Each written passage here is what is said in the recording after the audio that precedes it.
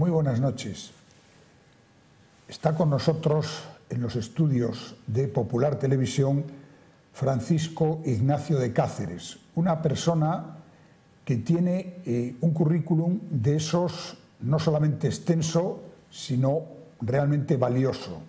Es licenciado en Derecho, licenciado en Historia, licenciado en Ciencias de la Información, catedrático excedente de Geografía e Historia, abogado eh, del Colegio de Cantabria en estos momentos en situación de no ejerciente, ha sido diputado nacional por el Partido Popular en la sexta legislatura y sobre todo es autor de varios libros, uno sobre todo yo creo que eh, auténtica piedra de toque para conocer el desarrollo y la realidad de la ciudad de Santander y de la región de Cantabria, que eh, son bueno, libros de, obligada lectura o de consulta cuando se quiere hablar de estas cuestiones. Y por ello, eh, yo quisiera iniciar la conversación. Buenas noches, ante todo. Eh, quisiera empezar la conversación hablando de algo que está ahora realmente de plena actualidad, que es el 75 aniversario del incendio de la ciudad de Santander, aquella catástrofe que eh, redujo a cenizas y después a escombros pues todo lo que era el, casco histórico. Bueno, después de ese incendio se produjo una reconstrucción. Bueno, ¿cómo juzga usted esa, ese nuevo trazado de las calles, esa reconstrucción que se hizo de la ciudad después del incendio? Santander realmente quedó destruido, eso como bien dice el, centro de la ciudad. El centro de la ciudad que era el centro histórico, porque bueno, pues es una, además es un área, eh, curiosamente reproduce lo que fue el soplo del incendio a partir de la calle de Cádiz, de la catedral que se incendia y cuya torre sirve un poco como de antorcha para expandir todas aquellas llamas y demás. ¿no? Eso es lo que se destruye. Claro, un centro histórico que debo decir tampoco era, estaba abundante en grandes monumentos. Bueno, hubo alguna pérdida como la casa del Marqués de Villafuerte con un balcón y escudo de esquina muy bonito, que se ve en las fotografías, es decir, no estamos inventando nada. Fue destruido pues porque sí, pues porque estaba allí, pues bueno, que lo tiren. Porque naturalmente, y esto em, empieza un poco a, a contestar esta pregunta, Naturalmente, eh, la, en fin, la construcción, los constructores siempre atentos a esto, pues vieron las posibilidades de construir en todo el terreno destruido. Claro, naturalmente, esto da lugar pues, a un trazado mm, que fue una pena porque podían haber aprovechado la ocasión realmente para hacer un Santander, no solamente en sentido este-oeste, como la mayor parte de esto, sino también norte-sur, para integrar en la ciudad más activa y más vistosa, digamos, los barrios de más al norte. Entonces, en ese sentido, pues se ha hablado mucho y se ha criticado, lo cual tiene parte razón, pues un desplazamiento de la población menos dotada o más pobre, si se quiere decir, eh, hacia otros barrios, en fin, podía haber tenido allí casas mejores, etcétera, etcétera. El traslado, una vez más, del barrio pesquero que ha peregrinado muchísimo por toda la geografía urbana y claro, dadas las circunstancias de la época, pues una construcción o una reconstrucción de Santander no muy especialmente vistosa, es decir, con materiales malos, había mucha escasez, había de, caucho, de materias primas, había y esto, esto en fin, se nota mucho en la reconstrucción de Santander. ¿eh? Entonces, en ese sentido, el incendio fue una ocasión perdida. Hay que tener en cuenta que el incendio es dos años nada más después del, final de la guerra civil, con lo cual podían haber hecho un esfuerzo. Pero ya digo, el hecho de haber una guerra, una gran guerra en curso, la, guerra, la Segunda Guerra Mundial, también imposibilitó pues, la recepción de materias primas, de más y más. Luego yo creo que los responsables máximos que son, lo vi el otro día, en un, no sabía ni que estuviese en, activo todavía, el gobernador Ruiz, el, alcalde Pino, hombre eficaz y activo y demás, y luego Pedro Muguruza, que era director general de, de, eh, Bellas no, de, de, Arquitectura entonces en la época. Estos fueron los tres que llevaron adelante. ¿Cómo lo hicieron? ¿Con qué proyectos? Pues hombre, como digo, limitados por estas circunstancias, pero también con esa presión de los que dijeron ha llegado el momento de aprovecharse y hacer una estructura para, edificar mejor.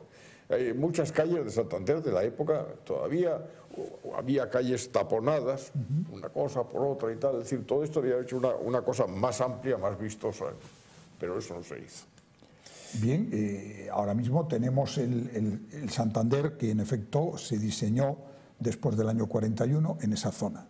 Eh, pero después la ciudad ha seguido creciendo ya al margen de la catástrofe y del incendio. Eh, bueno, ¿cómo juzga o cómo ve ese Santander que se ha expandido pues, hacia Cuatro Caminos por un lado, hacia Cazoña, la Albericia, Cueto, etcétera? veo zonas interesantes y muy bonitas, ¿no? Todas esas calles que se llaman eh, colectivamente pintores montañeses y todo lo que sigue más allá, tiene zonas francamente interesantes, es decir, con soportales que en Santander serían fundamentales. Ya sé que el soportal probablemente luego a convertirse en una tienda cerrando el soportal propiamente dicho, pero bueno, aquello tiene un aspecto mejor. Y luego hay que tener en cuenta la cosa cuando se dice que Santander, bueno, pues Santander está decreciendo de población, es relativo ese, ese juicio. ¿Por qué? Porque Santander en parte se ha ido hacia Bezana, el ayuntamiento vecino, con lo cual es una especie de gran barrio de Santander aunque mantenga su autonomía municipal. ¿verdad? De manera que eso también hay que verlo. Y luego hacia el otro lado, hacia el Sardinero, bueno, ahí pues hay de todo, ahí hay de todo y además es un aprovechamiento parcial, fin, fincas importantes de antes de, no ya de la guerra, sino del principio del siglo, pues se han convertido en terrenos de edificación, no siempre buenos, ¿verdad? pero, pero bueno, yo sobre todo la ciudad nueva, podríamos decir así, no le encuentro del todo mal. Tiene, tiene gracia, tiene encanto y suple así la carencia de eso que es la vista de la bahía, el que es autor de un libro muy interesante que se llamaba precisamente la, el Santander, el improbable, ¿cómo se llamaba? Atrapado en el marco incomparable. Eso es, eso eso Que eso se ha dicho muchísimo, ¿verdad? el incomparable marco y tal, ¿no? Bueno, eh, la verdad es que, claro, no todo el mundo puede asomarse al incomparable marco, pero la ciudad es una ciudad muy asequible, muy abarcable desde todos los puntos de vista, con una circulación Hombre, yo no sé hasta qué punto los señores estos que dibujan planos en el ayuntamiento de circulación lo hacen bien del todo. Los taxistas se quejan con frecuencia que es que ni les consulta. Dice, oiga, nosotros somos los auténticos profesionales del transporte y estamos siempre en la carretera. No es que ni nos preguntan, vamos siquiera.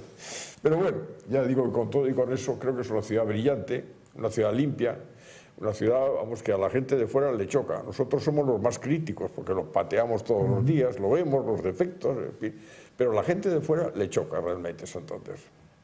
Bueno, em, estamos hablando de Santander, del incendio del cual ahora se está conmemorando el 75 aniversario, pero bueno, Santander es capital de Cantabria. Claro. bueno, usted ha conocido bien a fondo la, la realidad de Cantabria, ha sido consejero en el gobierno regional. De obras públicas, sí. De obras públicas, diputado, eh, ha estado por tanto en política, pero como historiador y como persona eh, con una excelente formación, conoce bien eh, esta, esta realidad. Santander no solamente no crece en habitantes, sino que decrece últimamente. Y luego está ese proyecto o esa idea que parece que al final, cuando llega a la hora de la verdad, todos los partidos políticos rechazan de integrar ayuntamientos. Usted hablaba antes de Bezana, ¿eh? de hacer un gran Santander, incluso luego ya eh, a nivel de Cantabria, de reducir estos 102 municipios que tenemos ahora pues a 25 o 30. ¿Cuál es su idea sobre esto? Hombre, mi idea sobre esto es que eso sería el ideal. Pero naturalmente ahí tropezamos con la resistencia numantina de los alcaldes, para empezar, que pierden poder inmediatamente. Decir, ¿usted quién es? Usted es un... Eso, eso me acuerdo, es una cosa, fue una imposición de las provincias vascas, cuando no, es que eso de gobierno civil suena como muy impositivo, tal, vamos a ponerlo... Y entonces ve uno por toda España, los que tienen varias provincias, subdelegación del gobierno. Bueno, pues eso también es una pérdida de, de, de poder, ¿no?, de los gobernadores civiles antiguos y tal, ¿no?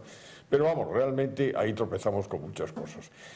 Está clarísimo, está clarísimo. Yo he tenido mucha relación dentro de la provincia con la que parecía más alejada, al que llamamos la comarca sur, toda la zona en torno del, del pantano del Ebro y demás. ¿no? Claro, ahí hay ayuntamientos minúsculos, pero minúsculos. De, eso dice, bueno, pero esto es, esto es un ayuntamiento o es una reunión de amigos, vamos, ¿no? porque había así y tal. Claro, están pidiendo a gritos que dice, oiga, pero agrópese, tal y cual. Ah, sí, yo, yo dejo de ser alcalde y yo teniendo alcalde. No, no, ni hablar, ni hablar. Tal, cual. Y entonces, claro, en la política hay siempre ese juego en que no es lo que el supuesto jefe, presidente o lo que sea y tal, decide, sino lo que los demás se dejan hacer. Ese es el problema.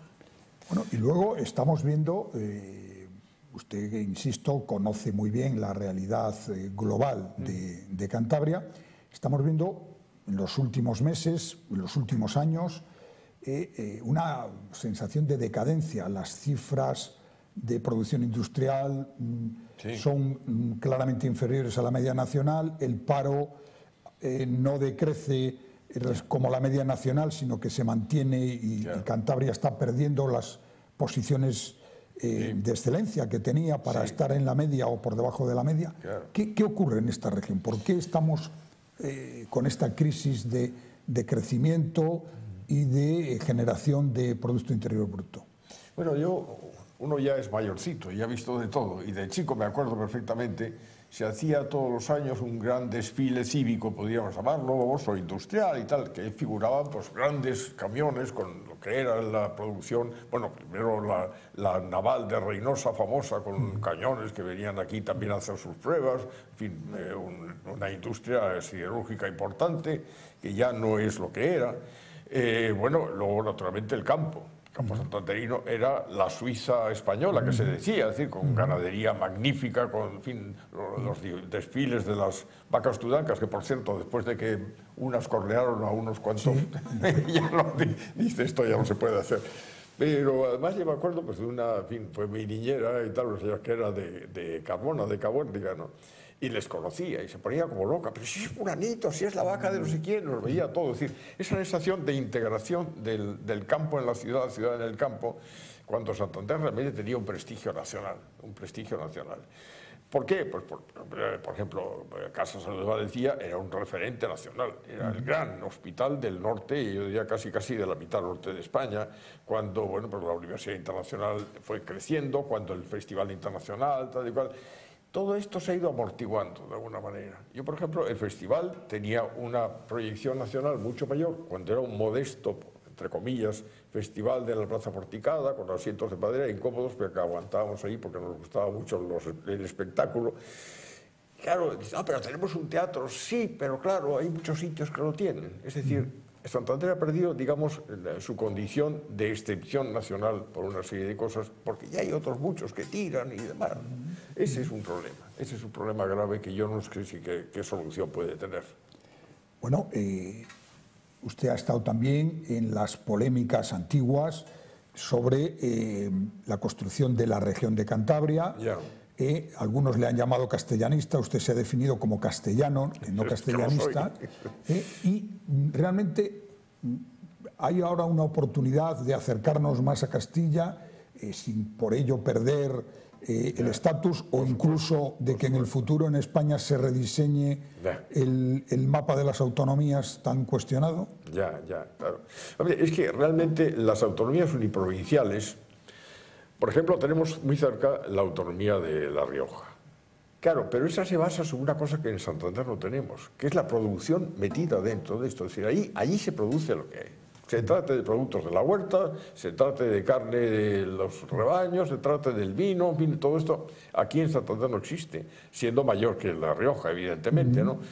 Entonces, claro, aquí lo de Castilla, yo creo que ahí se perdió una ocasión, dos, por dos partes. Castilla, y me acuerdo de una conversación pues muy levantisca al final con el primer presidente de Autonomía de Castilla y León en su, de, en su botica de, de, la Plaza Mayor de Burgos y tal y cual. Digo, bueno, es que muy bien, Santander pierde esto, pero vosotros, Castilla, pierde su salida al mar, su única salida al mar. Ya, pero no sé qué, bueno, total, que acabó confesando que, que Adolfo Suárez había rendido a las presiones de los vascos y tal, y que cual. No, no es que para reconstituir el mapa como estaba, no era el mapa como estaba. Evidentemente pasado eso, consolidado eso, porque está consolidado en el ánimo popular además, ¿no? porque eh, como bien apuntaba, decir, hay mucha gente que dice, sí, no, aquí estuvo muy mal, debíamos haber hecho, no sé qué, pero no pasan de ahí. Luego llega el momento de votar o de eso, si hubiera llegado, pues no lo hubieran hecho así.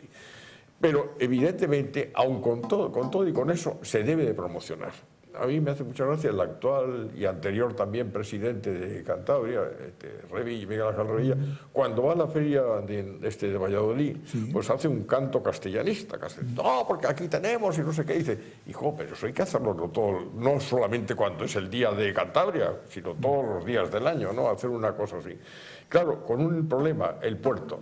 Pero antes se decía que el problema era la falta de comunicaciones. Hoy la verdad es que tenemos muy buenas comunicaciones por carretera, sobre todo, extraordinarias, un esfuerzo y una cantidad de dinero imponente, pero que está ahí. Bueno, pues aprovechémoslo. No sé qué es lo que falta realmente. Y luego el puerto, pues también, bueno, pues, pues está realmente en, horas bajas. El puerto no, no, no tiene lo que podía tener. Pues estamos ahí en el centro. Yo tengo un amigo metido también en temas navales y tal, que a mí me han gustado mucho, y dice que, dice, pero bueno, ¿cómo el puerto? No tenemos un puerto, tenemos un río que pasa por ahí en medio. Bueno, déjate en paz de historias. Y el Nervión es un río más estrecho y bueno, y todos. O sea que eso se puede aprovechar mejor. ¿Qué falta? Pues falta ímpetu empresarial. ¿Y qué falta? Falta dinero, falta eh, meter muchos millones para hacer cosas ahí, ¿no? Y eso, eso no se improvisa. Bueno, eh He dicho al principio que, su currículum es extenso y las diferentes eh, empresas, en el sentido de empresas públicas, eh, véase gobierno regional, eh, Parlamento Nacional, etcétera, en las que usted ha estado, le dan una visión, yo creo que integral de las cosas. Y ahora mismo hay un fuerte debate interno en el Partido Popular, que bueno, acaba de tener un episodio más en la dimisión de, Esperanza Aguirre, mm. pero que el debate está ahí sobre incluso quienes hablan de una reconstrucción del partido, de una especie de nueva etapa, como ocurrió cuando Alianza Popular pasó a ser Partido Popular. Eh, ¿Cómo ve la situación política? Hombre, yo soy miembro del, de entonces eh, este, Alianza Popular eh, porque me lo hizo sobre la mesa de su despacho Fray Iribarne. Fray Iribarne estaba empeñado en que yo dirigiese, liderase y tal y cual. Digo, mira, oye, perdona, yo tengo un pequeño defecto cuando me dejó hablar, porque cuando Fraga se ponía a hablar no, callaba. Y entonces digo, presidente, mira, tengo un problema, que es que yo no soy miembro de. Eso es que, un timbre y tal que venga el señor Restringe, que entonces todavía estaba en activo con él, traiga los papeles, porque actuaba como un catedrático. Fulanito, vaya repartiendo los papeles a los alumnos. ¿no? Traiga los papeles. Venga, ya está. Claro, yo desde entonces nunca me he dado de baja. Y dije, no, pero es que, porque se han portado mal conmigo. Digo, mal conmigo, no, pero no, son etapas de la vida y no tengo más que decir. Ahora bien, ahora bien, es realmente la cuestión de la, de la, corrupción que afecta a todos los partidos. Ahí me choca también del Partido Popular. ¿Cómo no, cómo no aprovecha todas las ocasiones que le dan en preguntas, entrevistas, tal y cual? Decir, bueno, y ustedes que tienen el tema de Andalucía para empezar, más el de no sé qué, más de no sé cuánto. El tema de la corrupción es un tema gravísimo. Y yo diría que un tema incurable. Porque dice, bueno, pues que barran a todos estos y que todos se los pongan los nuevos. Bueno, hasta que los nuevos aprendan la manera de hacer lo mismo, ¿verdad? Pero, ese es el problema grave en este momento. ¿Qué pasa? Bueno, pues hay realmente es, es un eh, eh, panorama un poco caótico. Claro, yo, por ejemplo, esto de la asociación de un PSOE que podía ser una socialdemocracia más europea y tal y cual, con unos Podemos que son unos señores como muy pintorescos en cierto modo, pero que saben muy bien lo que quieren, que lo que quieren es quedarse con el poder. Bueno, pues la última, dice, un, tacho, un tocho de 100 folios para contar nuestro programa. Dice, oiga, pero eso es pura Unión Soviética lo que proponen estos señores, ¿no? Entonces, claro, la, situación es tremenda, tremenda, tremenda. Y el PP, hombre, hay sitios como en Santander, es bastante homogéneo, es una provincia relativamente reducida, y eso se mantiene. ¿Por cuánto tiempo? Pues no sabemos. Eh, bien, eh, estamos hablando ya de, eh, de España, de, de, política nacional, en este caso del Partido Popular, pero junto a la corrupción que usted ha mencionado, yo creo que con acierto, hay otro problema que es el de los intentos secesionistas de Cataluña y ahora parece que otra vez también del País Vasco, que dejarían además a Cantabria convertida por su pequeño tamaño en una especie de eh, región de tercera división.